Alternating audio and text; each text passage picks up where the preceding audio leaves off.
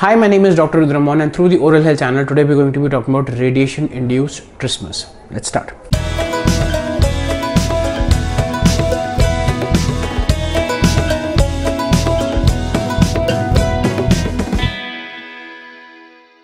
So today's episode is going to be slightly serious because of the fact that I'm going to be talking about a very serious topic which is known as radiation-induced trismus. Radiation-induced trismus means that if you've had any sort of neck pathology such as head and neck cancer including oral cancer, esophageal cancer, maxillary sinus cancer and you are going for somewhat the radiotherapy side of line of treatment you might end up having some fibromatic changes in your oral mucosa and surrounding structures inclusive of your temporomandibular joint which leads to something known as radiation induced trismus. Now, radiation induced trismus, uh, the dosage technically it also the impaired function and vascularity starts off at 15 grays of radiation therapy. How does radiation induced trismus happen? It's very simple. The radiation causes a lot of burning, literal burning of cells and you know microvascular structures that are present in the tissue that is being irradiated.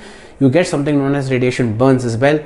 Unfortunately, it decreases the uh, vascular proliferation. That means the blood vessels, the number of blood vessels because of the radiation dosage goes down. On top of that, you end up having less of uh, you know uh, collagen that is you know flexible, more of you know cross-linked collagen, more of scar tissue, more of damage, direct neural damage to tissues which can cause pain also.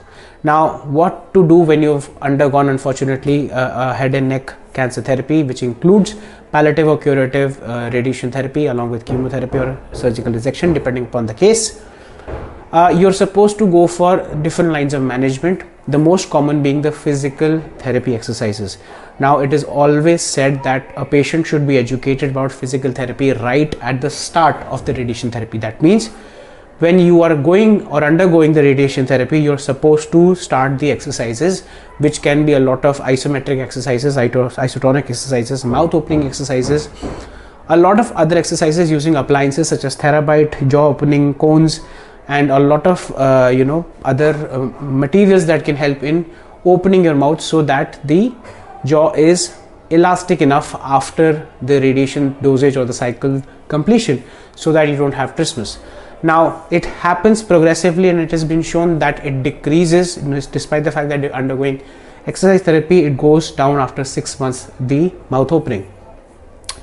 But in terms of uh, other managements you have surgical management which includes Coronoidectomy. Coronoidectomy includes a coronoid process that is present right here in your temporomandibular joint which can be removed depending upon the location of the cancer if it's very near to the uh, you know the coronoid process it is better to remove and get the coronoidectomy done exactly at the time of tumor resection otherwise it can be done later on but you have to be very careful because it has its own surgical disadvantages of it being invasive and causing scarring of the tissues right from the temporomandibular joint to the muscles of mastication and that's where the radiation induced trismus starts.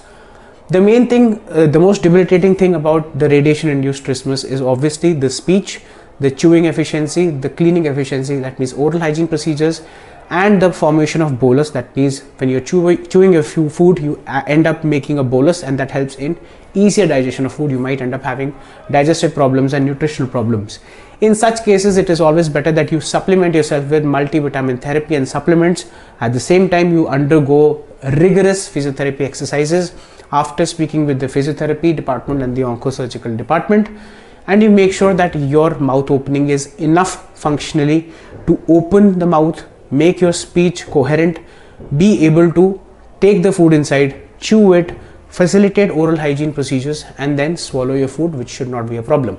So, this was today's episode. Please like, share, subscribe, and to press the bell icon button for important updates. If you want to get in touch with me, here are my social media handles. Kindly refrain from calling me directly as I might be busy with patients.